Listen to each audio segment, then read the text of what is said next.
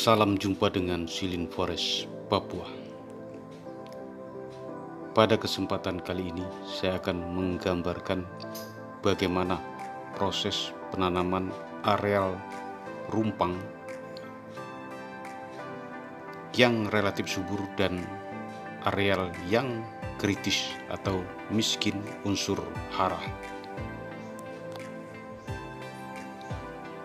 Penanaman rumpang adalah penanaman yang dilakukan pada spot-spot terbuka pada areal hutan, baik yang terbuka secara alami maupun areal yang terbuka karena aktivitas dalam pengusahaan hutan.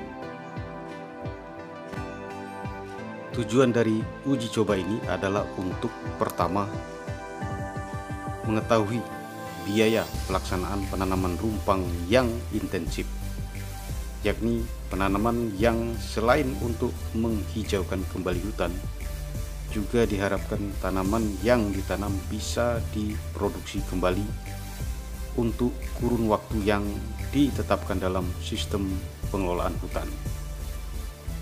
Jadi bukan penanaman yang setelah tanam tugas selesai dan dilepas begitu saja di alam. Tidak seperti itu. Tujuan yang kedua untuk memperlihatkan bahwasanya manipulasi lingkungan tempat tumbuh pada areal kritis sangatlah kompleks dibandingkan dengan areal yang relatif subur. Tujuan ketiga, dengan perlakuan yang sama antara penanaman areal subur dan areal kritis, kemungkinan akan tetap menunjukkan perbedaan yang signifikan terhadap pertumbuhan tanaman. Kecuali jika di areal kritis diolah sedemikian rupa agar kondisi tanahnya sama persis dengan areal subur yang alami. Sebagai catatan, mengolah tanah kritis menjadi tanah yang subur sangat memerlukan alat, bahan, waktu, dan biaya yang tidak sedikit dibandingkan menanam pada areal yang sudah relatif subur. Pada uji coba tanam rumpang ini, ukuran lubang tanam sama bibit, umur dan ketinggian relatif sama. Proses pemulsingan pun relatif sama. Lubang tanam dibuat dengan ukuran 40 cm dikali 40 cm dengan kedalaman 30 cm dan sebagian juga diuji cobakan dengan ukuran 60 cm kali 60 cm dengan kedalaman 40 cm. Bibit yang digunakan baik nyatoh ataupun Sorea leprosula adalah bibit yang berumur masih kurang dari 7 bulan dengan ketinggian bibit masih di bawah 50 cm. Standar bibit sebenarnya adalah umur sudah mencapai 7 bulan dengan ketinggian rata-rata 50 cm. Sengaja kami uji cobakan dengan ukuran bibit yang masih di bawah umur 7 bulan dan di bawah 50 cm. Lalu pemulsingan menggunakan sersah atau lapukan daun dan ranting yang ada di lantai hutan juga diuji cobakan dengan menggunakan gulma atau tumbuhan pionir yang masih hijau untuk mengetahui perbedaan lama terurai mulsa tersebut. Kita lanjut ke teknis kerja penanaman, artinya proses pelaksanaan penanaman. Pertama, membuat ajir tanam dengan jarak 2,5 meter atau bisa dengan jarak tanam lain sesuai dengan kebutuhan dalam uji coba. Kemudian penggalian lubang Penggalian harus sesuai dengan standar yang telah ditetapkan dan harus sama untuk tiap perlakuan uji cobanya. Lalu setelah penggalian lubang, lubang tanam tersebut diberi topsoil. Topsoil bisa diambil di lantai hutan. Topsoil adalah bagian tanah paling atas yang masih banyak unsur hara atau nutrisi bagi tanaman nantinya. Lalu proses selanjutnya adalah penanaman bibit. Penanaman harus dilakukan dengan hati-hati sesuai dengan teknis atau standar yang telah ditetapkan agar bibit tidak rusak dan tidak mati. Setelah penanaman, kegiatan selanjutnya adalah pendangiran. Pendangiran dilakukan radius 1 meter mengelilingi tanaman dengan tujuan pertama penggemburan, kedua untuk peresapan air, dan ketiga untuk menahan tumbuh gulma di sekitar tanaman. Setelah dilakukan pendangiran, langkah selanjutnya adalah pemulsingan. Pemulsingan dapat menggunakan seresah atau lapukan-lapukan kayu atau ranting pada lantai hutan.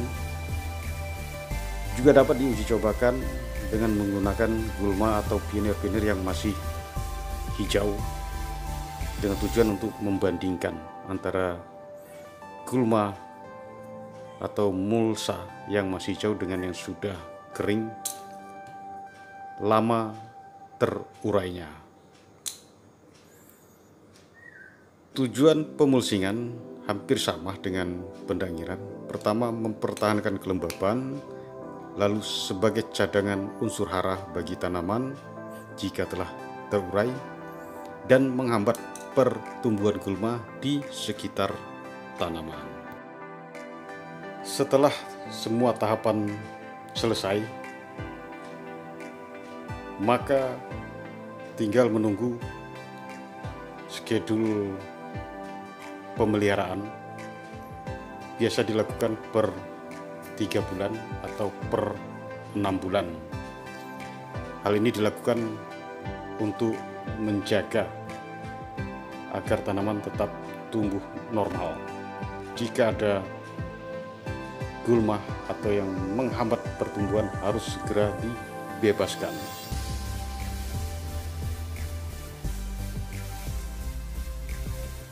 Yang terlihat sekarang adalah video proses kegiatan penanaman pada areal rumpang yang memiliki lokasi atau areal yang sangat kritis yakni bekas penumpukan kayu di mana sebelumnya di sini banyak aktivitas alat berat logging, dump truck dan lain sebagainya. Sehingga tanah sudah sangat padat, porositas tanah pun sangat kecil. Maka perlu perlakuan khusus jika ingin ditanami kembali. Pada paparan kali ini tidak diperlihatkan untuk teknis pelaksanaan pada areal yang relatif subur dikarenakan untuk areal yang relatif subur tidak terlalu sulit pelaksanaannya. Namun untuk areal kritis sangat sulit dan kompleks sekali perlakuan baik manipulasi lingkungan dan lain sebagainya. Maka pada video ini hanya menunjukkan pelaksanaan kegiatan penanaman di areal kritis sedangkan video areal subur tidak kami buat. Penanaman untuk jenis-jenis tanaman hutan alam yang ditanam di areal hutan dengan sistem apa pun disarankan untuk tidak menggunakan pupuk apalagi pupuk kimia.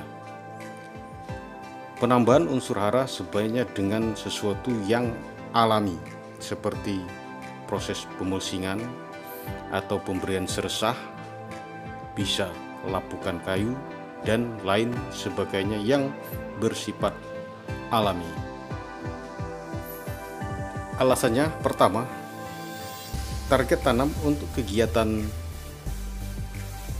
IUPHHK atau pengelolaan hutan alam sangat besar.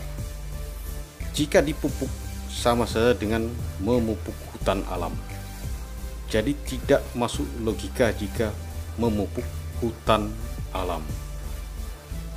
Kedua, pencapaian target diharapkan dapat tercapai dengan kegiatan atau proses manipulasi lingkungan, pengendalian hama penyakit, dan pemulihan pohon. Jika itu dilakukan dan sudah ditemukan klon tanaman terbaik, maka tanpa pemupukan pun target akan tercapai. Ketiga, biaya operasional pelaksanaan silin besar dan akan bertambah sangat besar jika dilakukan pemupukan terhadap tanaman yang ditanam di hutan. Ini terkait dengan harga jual nantinya. Harga jual kayu akan lebih kecil dibanding dengan biaya operasional nantinya, baik dengan satuan meter kubik dan lain sebagainya. Jadi, jika itu dilakukan, maka usaha tersebut dapat dikatakan merugi. Lalu keempat, dalam pengelolaan hutan, khususnya hutan alam, dilarang dan tidak dianjurkan penggunaan zat kimia dalam pengelolaannya atau penanaman tanaman di hutan alam. Ini terkait dengan aturan.